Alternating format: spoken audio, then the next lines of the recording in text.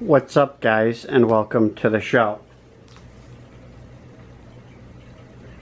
What's up guys and welcome to the show. So I figured I would do a video on this knife. Now I believe about a while ago I did a review video on this knife but I figured I'd talk about this knife because this is in fact the oldest knife that I own.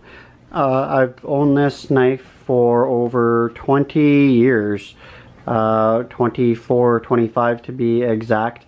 I've actually owned this knife for now it's had to be sharpened I think two uh, times. As you could tell the blade is a little bit bent at the top there. Uh, I've since retired this uh, from my EDC quite a while ago and I very rarely now even use it. I just have it because it's I've had it for such a long time and it's still a really, really good, heavy, very nice knife. Uh, for its age, it has like no wobble really or any play. The lock is still very sturdy. It it won't come down on you for anything. It still is quite a workhorse of a knife.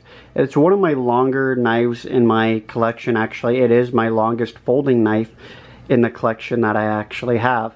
Now the only marking on it, it says it's stainless steel, which this uh, blade construction is stainless steel. That's the only marking on it. There's no other name on it, so I really don't know um, how, what brand or anything this knife actually is. I ended up getting this knife from my dad a uh, very, very, very long time ago.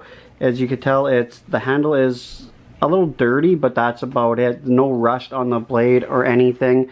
I haven't uh, ever had to clean it up. It's just a no rust right there. It's also a little dirt. But I've never actually had to clean it up. Like I said, I sharpened it twice in the 20 something years that I've actually had this knife. It's it's heavy. It's definitely my heaviest folder. I used to have this as my EDC for quite a long time, but I've since retired it from my EDC. Um, because it's one of my heavier knives, it's my longest folder that I have. I just really like, you know, my other ones and, you know, not not better, but, you know, I, I, I don't really have, what I use my knives basically for is I'm better off using um, one of my other ones that I have, but this one still is, is really good for the age. Uh, it's got uh, one, two, three, four, five rivets uh, through the handle.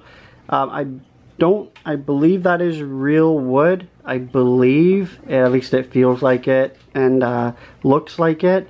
I'm not too sure what the tops uh, are and the bottoms are actually made out of. They feel like they're more of like a metal, metallic type of uh, material.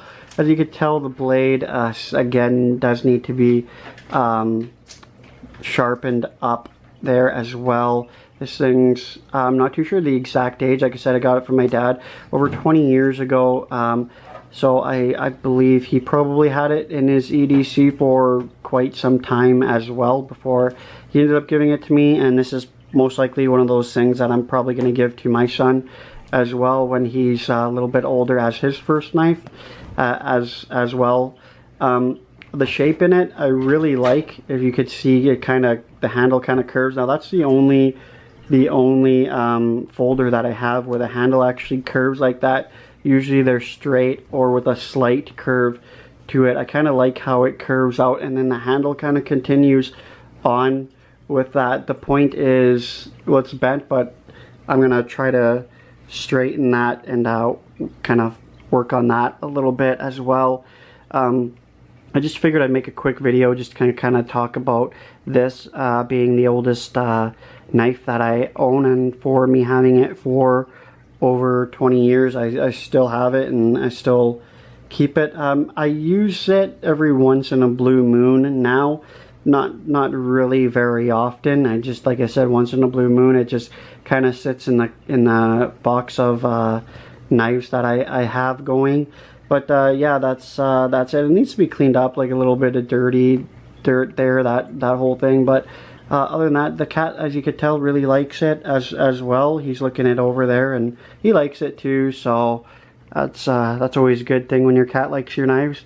And uh, yeah, that's just my little rant on this, uh, the oldest knife that I own. What do you think about it? He likes it. Hope you guys like it too. Leave me a comment, like, comment, and subscribe.